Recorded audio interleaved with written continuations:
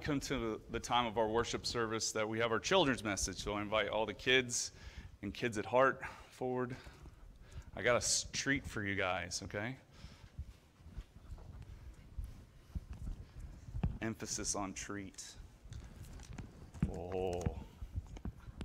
Did you guys come here hungry?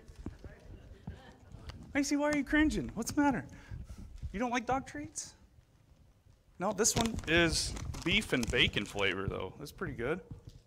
You guys like beef and bacon, right? Which is not dog treats, right? What are these for?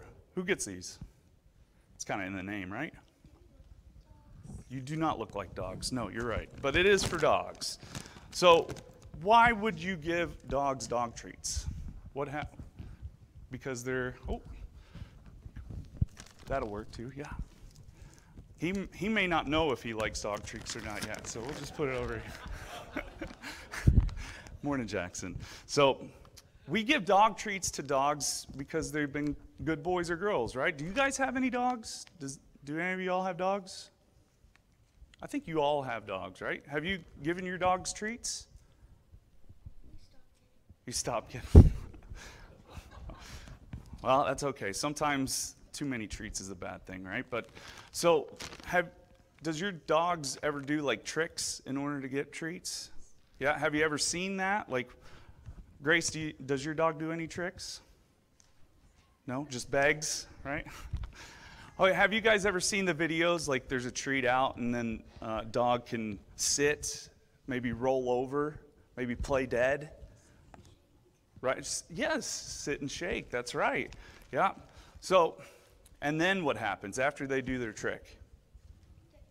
They get the treat then, yeah? So then they get the reward for being a, bo- a good boy or girl.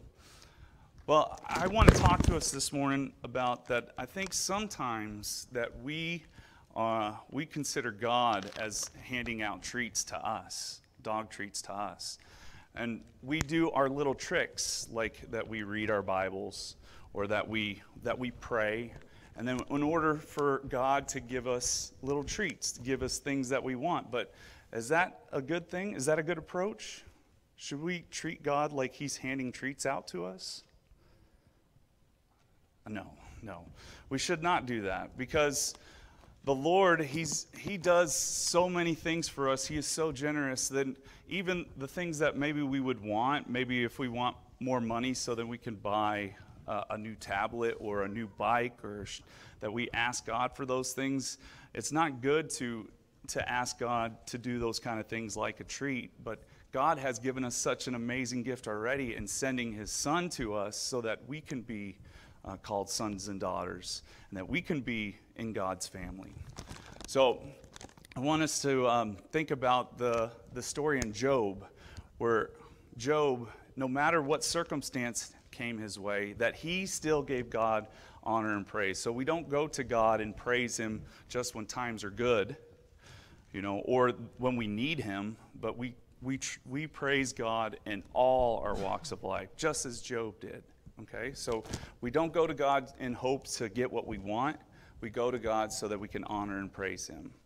Okay, so next time we pray, let's not act like we're, we're a, a puppy um, doing a trick, but we're doing it in service to God and to praise and honor Him for what He has done in our lives. Okay?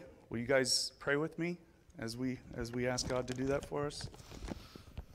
Dear Heavenly Father, Lord, we we come before you this morning. Um, I mean, oftentimes that we come to you, Lord, um, for things that we we need in the short term. Um, we kind of maybe even sometimes that we bargain Lord, if we, if we act a, a, little bit better, Lord, if you could change our circumstance for us. But Lord, we know that um, that's not how you operate. That's not what, uh, what you have called us to be. We're, we're called to be uh, agents. We're called to be um, beacons of light in this community, Lord. And so that no matter what happens in our lives, whatever season we're in, whether it's a happy time, a sad time, or a hurting time, Lord, that we turn to you and that we give you the honor and praise that you deserve. Lord, and we know that anything that we ask for, it pales in comparison to what you have already given us, and that is your, your Son, Jesus Christ, who, who is our Savior, our Redeemer, our Lord, and our King. We just pray in all things that we do, Lord, that we honor and that we praise you. And all God's kids say, Amen. Amen. All right, before you guys go, because you guys were such good kids, I want to give you guys a treat, okay? You sure you didn't want these? Let's see. How about now? I put it in a Ziploc bag so it doesn't smell like bacon, okay? All right, you can go back to your seats. Thank you.